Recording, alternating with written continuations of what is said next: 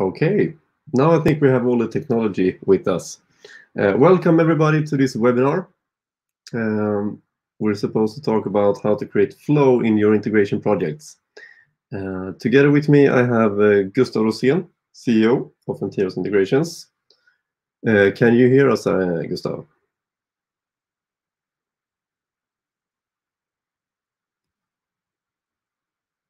I can't hear you.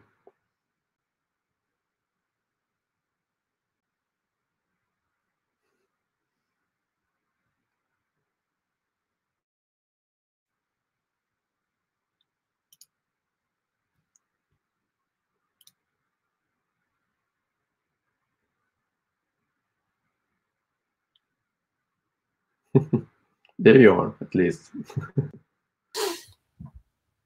now I can hear you. Good. Can you hear me? Is the audio good? Yes, sounds perfect. Okay, great. So uh, take it from the beginning. yeah, welcome everybody again, and welcome Gustav. So we're supposed to to talk a bit about um, uh, what we have learned during the 10 years as integration specialists and uh, that's why you're on the stage uh, to to share with us what uh, yeah your experience. So please um, give you everybody a short introduction to yourself and um, take it away. Okay i hope you can see my screen shared now. Uh, my name is gustav rosén. Uh, i've been working as an integration architect uh, for the last 15 years I've always had a mission to um, do integrations. Uh, I uh, acknowledged that early on in, in the IT industry, that it was a, an area that captured my attention. I really like the mix of uh, uh, the business change uh, that is happening with integration and also uh, the soft parts, like getting people to collaborate and organize around, around an integration. So that's what I do. Uh, and Entiros has been around now for for 10 years, uh, and we're really happy to be able to share our experiences uh, from the clients uh, we that we have, and also to be able to share with you today some exciting news regarding our new SaaS, Starlify, and also certified integrator uh, training for professionals. So that's a really short introduction uh, from me. I just want to say that if if anyone has any questions, just post them in the question tab or in the chat, and we'll look at those uh, at the end. Okay, very good. I, I, hope you can see my screen now, uh, and I'm going to do some demoing as well. So we're going to switch uh, switch to Starlify in a few moments. But first, why are we uh, hosting this webinar? Uh, well, as you all know, most of you are in the IT industry that is participating today. Uh, digital transformation is ongoing and is more and more coming to top of mind uh, of our leadership teams. Uh, in a recent survey, Connectivity Benchmark report that was released just a couple of weeks ago, um, there was really nice statistics around uh, how many companies that are actually doing initiatives in the, the digital area. And now basically what you can conclude is that almost any project right now is a digital project. It contains some type of digital components that will digitally transform the business that is executing the project. So as you can see on the left-hand side, uh, basically 99% of businesses are running uh, initiatives this year for digital transformation or about startup initiatives. And then one can ask, why are we doing this? And as you can see on the, right-hand side, it's still the traditional reasons. top three is to modernize legacy systems, to get more out of the information, basically, that we have. Uh, number two is to be able to migrate uh, to the cloud, to be more efficient, to be able to scale better. And number three is about automating business processes. And that has basically been the same thing for the last five to 10 years. But then we see a couple of contenders uh, introducing new products and services faster. That is quite interesting. Um, to be able to, to do that today, you need to run digital initiatives uh, because most businesses are becoming digital. Um, but there's challenge, challenges in this, of course. Um, the survey also shows that 85% um, of all these organizations that are in uh, initiatives today and transformation, they are experiencing challenges due to integrations. Um, as a matter of fact, the number of systems that is integrated in a company is dropping year over year. Right now, it's only 28% of applications in a company that, that is integrated at all. And that's that's not so much because of the technical challenge, but it's more of an organizational and collaborative challenge, getting people to work between different tech teams and so on. That's really hard. And the effect of that, as you can see on the right-hand side, is that uh, most IT leaders, uh, almost 60%, were not able to deliver according to business expectations last year. So most IT leaders said that I could not deliver all the projects that's what, that was asked of me due to resource shortage or due to challenges in the running projects. And then it's interesting to ask, why do we have these numbers? Why are we having challenges uh, in the project space? Why can we not move as fast as business wants us to move? Uh, one could think that it might be that we're lacking technology, but, but it's not that cause it's rather three main pain points uh, that was deduced from this survey service. And the first one is that we continue to have fussy business objectives in our initiatives. Um, we experience that we're out of sync with stakeholders. A stunning 80% of project participants said that our requirements is out of sync with the rest of the business. And last but not least, we uh, do excessive rework, uh, not because we're working agile, deliver prototyping, so on, because things are changing when we're running our initiatives, and then we need to rework uh, and we need to meet new requirements in our in our projects. So, how to deal with this? Well, I I personally have a, have a view that projects have changed char character the last year. If you look back on how a project looked a while ago, we were, for instance, uh, we wanted to deliver a digital experience to some user group um, of a certain business process that was in scope of a project. And what that meant is that people uh, powering that process, uh, they needed to participate in some kind of change initiative, and they were powered themselves by technology. So administrative systems uh, where they worked with inputting and outputting data.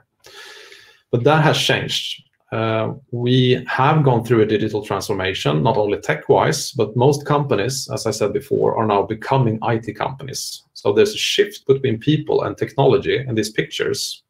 So now most of us are actually running and uh, changing and working with technology. And that is the business process. Uh, as examples, we're not we're not meeting our our banks over desks today. We're meeting them over internet banks. We're not renting movies anymore over desk. We're renting movies online, etc., etc. Almost any industry, any company is going through this. Uh, so what's what's the edge in this webinar? Uh, what are we focusing on here?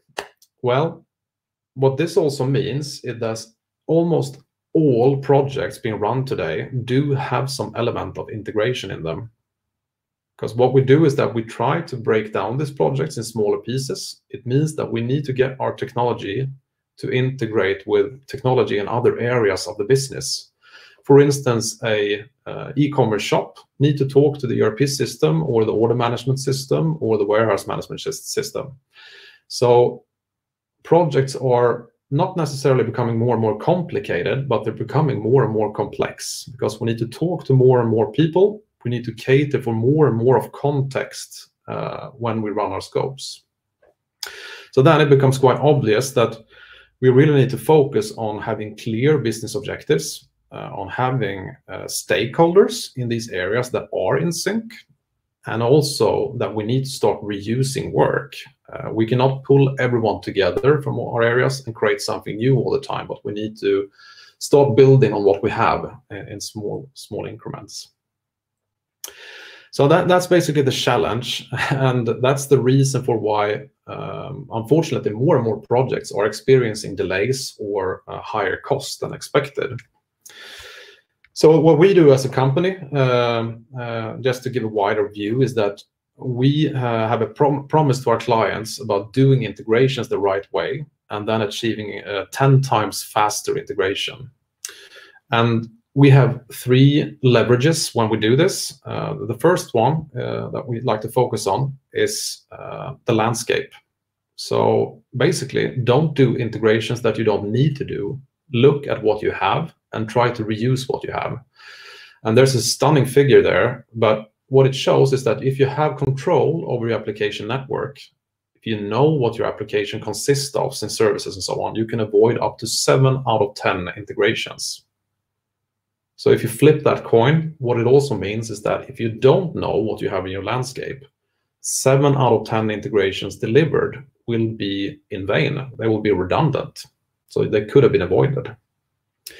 Next one is in the middle, and that was that is basically what this webinar is about today.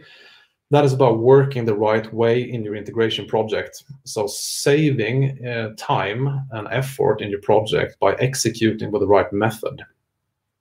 Last one, but not least, is uh, uh, the also exciting tech area. So to get the right integration technology in place, so you don't have to reinvent the wheel when doing connectivity and transformation and error handling and event streaming and everything that you want to do in your IT landscape. So there are uh, quite a few um, organizations that attack this from the left-hand side. So when you have an integration challenge, you start looking for a technology that can solve your need. But what we uh, propose, that's first key takeaway here, is that you should try to attack it from the right-hand side. So look at your landscape, try to organize your services, look at your project, what you want to achieve. Do you have the right method? Do you have people engaged the right way? And then what type of technology do you need? And the solutions that we bring to the table, uh, it's very exciting now. We, we launched this in October uh, last year. Um, it's a SaaS application for uh, application networking. Um, I'm going to show you that one soon. And that is basically to create quickly a view of your landscape and what you have. Second point is to enable your developers uh, to be able to execute in the project in a good way.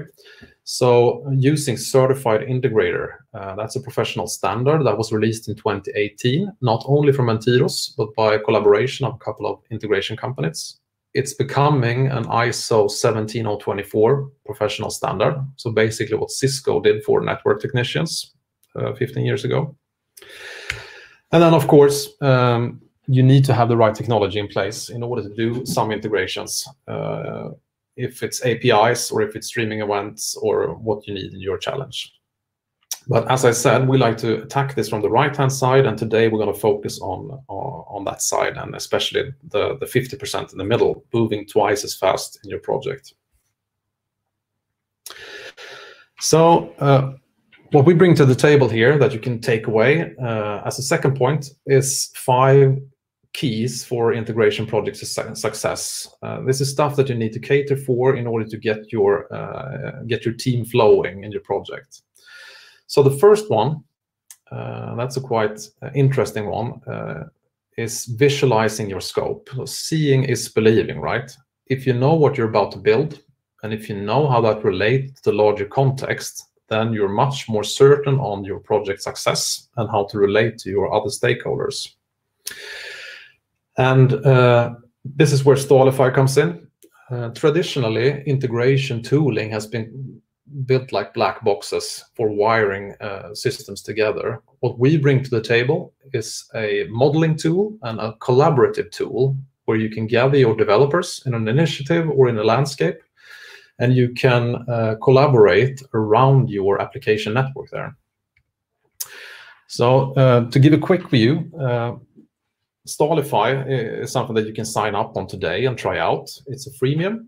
And if you have a typical scope of a project, for instance, a web shop at the top that needs to talk to uh, an ERP system, a CRM system, and a PIM system, what Starlify is for is to get that visualized quickly, uh, to describe your references in purple here and your services in blue and to be able to communicate that to the different stakeholders of the project and also to manage that change through this tooling. So it's not an integration platform. It's not an integration technology uh, for a distributed team. It is more of a collaborative tool to run the integration uh, project and to run your landscape. So you can use 10 different technologies for integration, and you put Starlify on top and, and power your change, basically. Um, so if we look at this project, it, it, looks a bit complex and messy, right? But if I if I start by um, turning off the services here and maybe hiding the subsystems, it, it, it, becomes more clear. We see four systems here that need to talk to each other. And then again, uh, uh, showing the subsystems, I see that there seem to be a, an order module of the ERP system that's in play here. And there's a logistics model and a finance module. And there's also a customer module. So there's communication between the ERP and the CRM. There seems to be communication with the pricing catalog here from the web shop. Uh, there's a product catalog and a media catalog that is not involved here. So if I uh, turn on the reference here, uh, I see that there's a couple of calls that needs to be made in this project. Uh, there seems to be seven different calls, uh, seven different dependencies that we need to manage in this project. So it's about getting a subscription of a price catalog. Uh, it's about uh, getting a price. It's about uh, putting a consumer, a customer, into the CRM system. Seems to be something about getting an invoice, getting shipping info, and this one is the crown jewel, posting orders, so doing the order capturing and sending that to the ERP system. And what we see here uh, is a quite quick way of visualizing then the scope. And turning on the services here, uh, we see that there's a couple of interfaces. This could be APIs, could be streaming events that we need to realize or reuse in order to execute this project.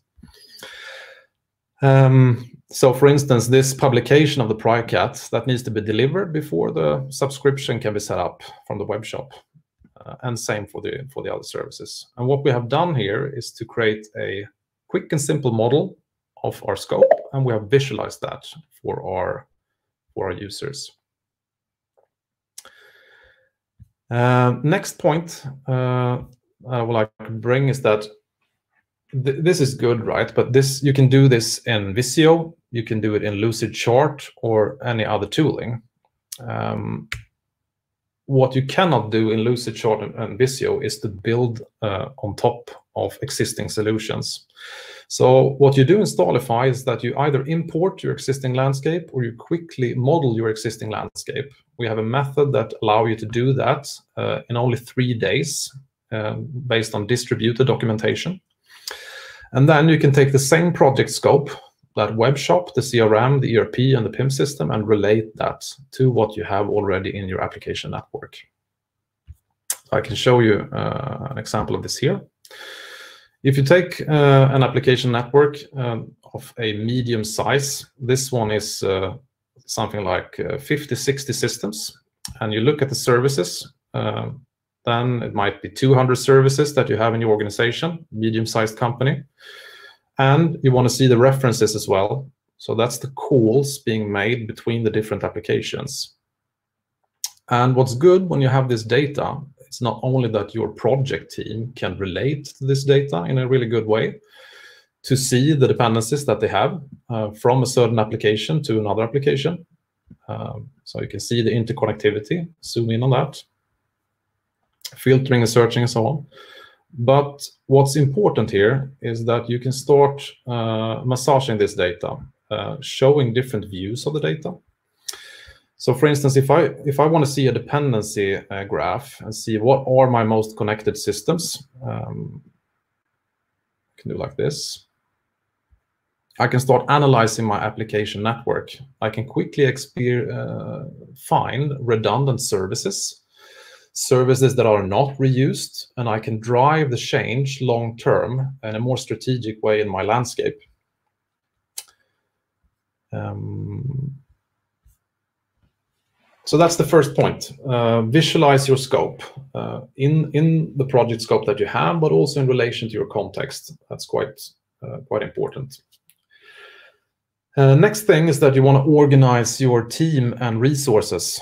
So as I said, we're taking this from a people perspective and collaborative perspe perspective before technology. So the way to do that is to start engaging with the solution. Um, I can show you in, in, in this picture. So if I hide now uh, the services and references and I turn on the engagement, I see that there's three people that needs to work together in this in this project. There's a Jonas, there's an Ellen, and there's a Gustav here. So Gustav is running uh, running the show uh, in the ERP area. Ellen is uh, uh, running the show in the web shop and the CRM area, and Jonas is uh, doing the same in the PIM area.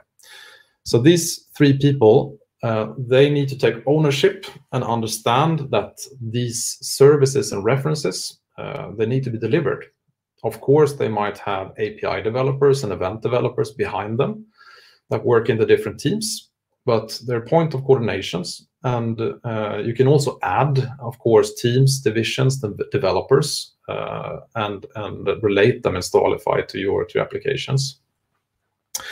So uh, when we have identified uh, our users uh, that are engaged to the systems, we can uh, ask ourselves, how do we enable these developers or system owners to execute with 50% reuse? And our answer to that is that we think that uh, one should get certified. Um, so certified integrator, to put that very briefly, you can find more info on certifiedintegrator.com. It exists for IT professionals, and then it's a six-hour certification, uh, and it gives you basically the green card to play on the integration golf course. So it's no advanced stuff. It's the 10 critical points that you need to do in integration and integration projects. There's a one-hour quick session for business professionals if you have stakeholders that need to understand how to place integration requirements, understand what integration is, and uh, what you get out of this is that you get certified project members uh, that understand the requirements of integration and integration scopes and how to deal with that scope together. And then just to, to mention a few points, uh, it's about getting IDs and patterns. You get that directly in Starlify in the team, but then starting to model the information, the mediation, uh, the scalability of the services, uh, how to relate the security, reliability with transaction handling and persistence and so on.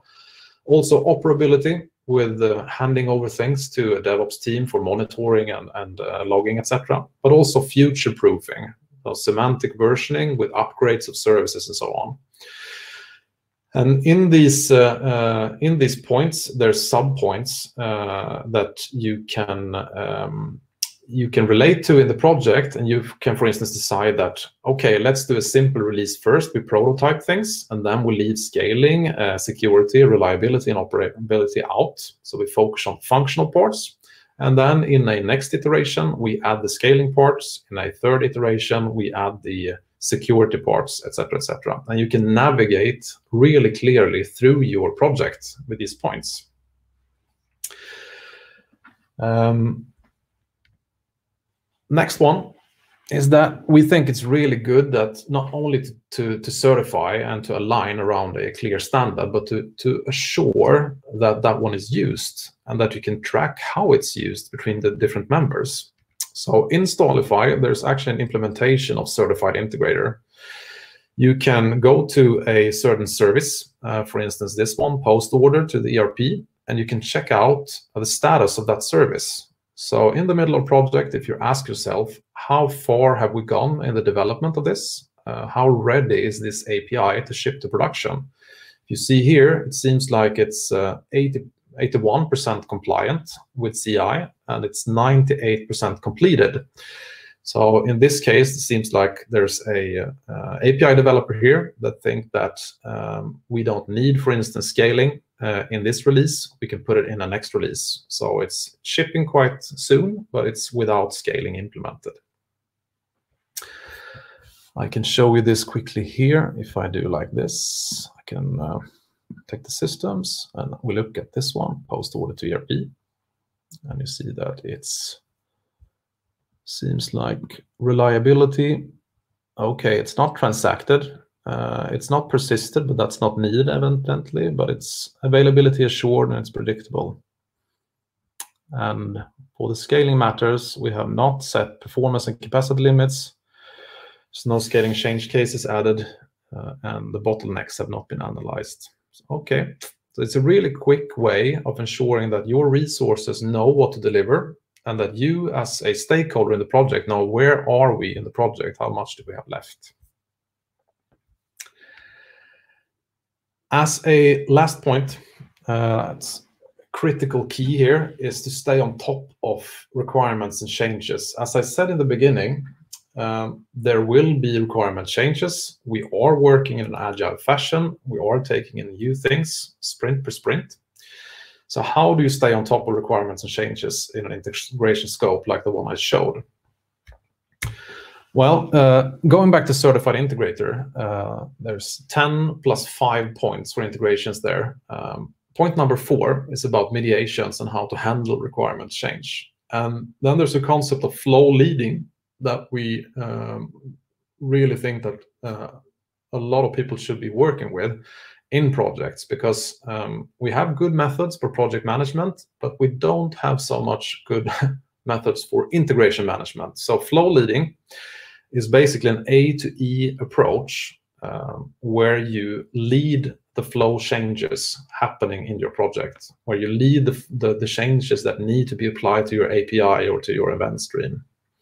So the way that it works is that the receiving party uh, sets the requirements. It's a green lamp there. And then B, sending party adapts. So creating uh, maybe an update to the API again, the receiving party assures that the right test cases uh, is there. And there's, of course, all the details that you need on what that is if you take the Certified Integrator uh, certificate. And then uh, you can do the development changes. So sender and receiver or consumer and provider of an API, they can do the change together and upgrade uh, what's needed for the project.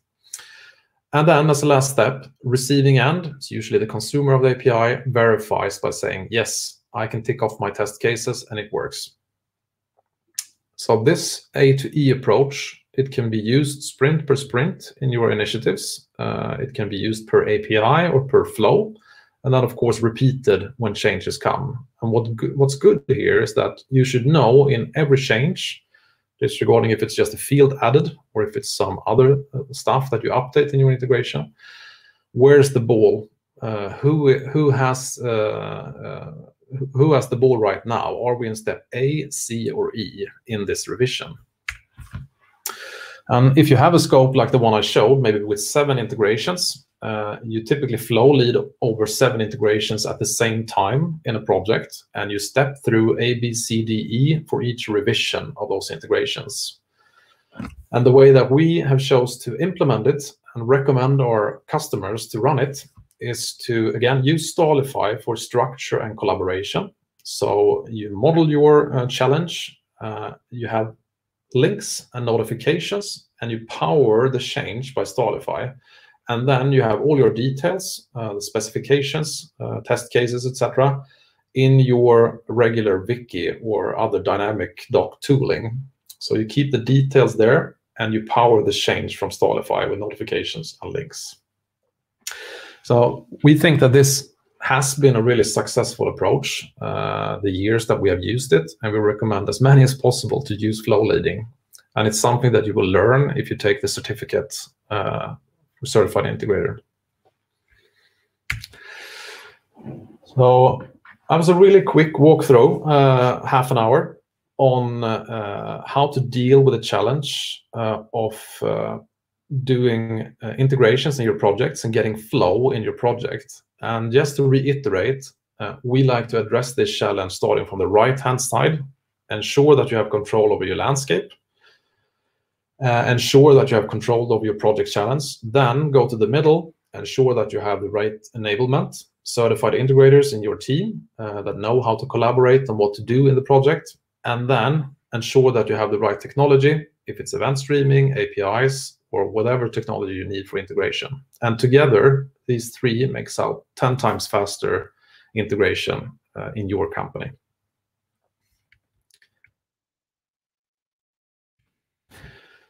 Uh, so thank you for for listening into this, and now uh, we have a discussion session for 15 minutes or more if you want to have it. Uh, but that was that was half hour. So thanks for me. Thank you, Gustav. Very nice. Very nice. We have a few questions already, and I think that we can get right on with those.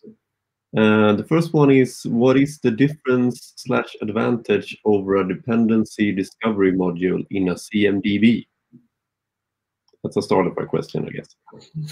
Yeah, CMDB uh, is really great tooling that is typically used for your infrastructure assets. Um, you can use a CMDB for managing your application network, but uh, has been um, natively built for application networking and developer collaboration.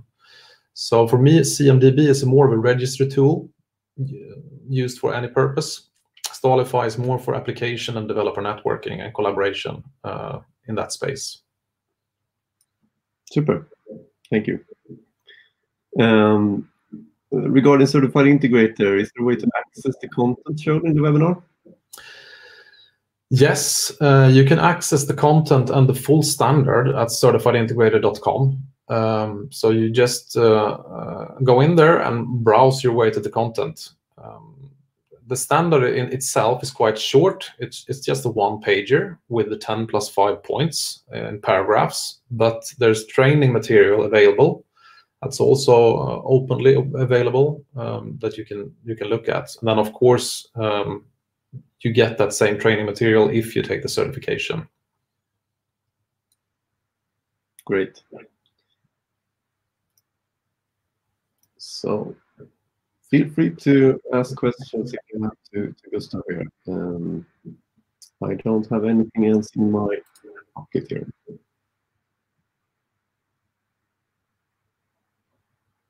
One thing that might be interesting to know about, though, is um, um, that many people think that a continuously updated view of the application network in a quite large company sounds like, yeah, an utopia. um, that's not regarding projects, but might be interesting to hear your thoughts about that. Is it possible to achieve? Yes, uh, it is. It is possible. Uh, if you if you have a large application network with a lot of uh, applications. It's I would say already when you have uh, maybe 20 or 30 applications and maybe 100 APIs, it's impossible to manage that centrally. So the whole idea in Starlify is that you divide the network up into pieces and you give the responsibility to the system owners of uh, managing their APIs and services. So in, in this landscape, there might be 50 people that work on this together there's not one enterprise architect sitting centrally. There's 50 system owners that know their services, that know their reference points, and that manage that uh, in Starlify. And then there's two ways of doing it. The first one is, uh, of course, to do it in web UI. Uh, it's quite fast and simple. It takes maybe five minutes per month to do your uh, revisions if you have any. But a more more uh, developer-centric approach is to use the APIs so in the same way as uh, we're starting getting used now to using API portal APIs from our DevOps tool chains, so we push new new specifications, etc., to our API portals. You can use exact same approach for Starlify. And then there's not Swagger files, but there's Tagger files uh, that describe the dependencies. Um, so when you do changes, uh, you can have your tagger file, you can check that into your source code repository and also push it to the Starlify API at change. Or you can use the web UI. It's the same thing. Good. That's where the collaboration comes in. Great. If we don't have anything, any questions left, um, thank you very much for joining. And thank you, Gustav, for a great uh, presentation. And um, reach out to us uh, and, and try out Starlify at starlify.entiros.se. Thank you. Take care, everyone. Bye-bye.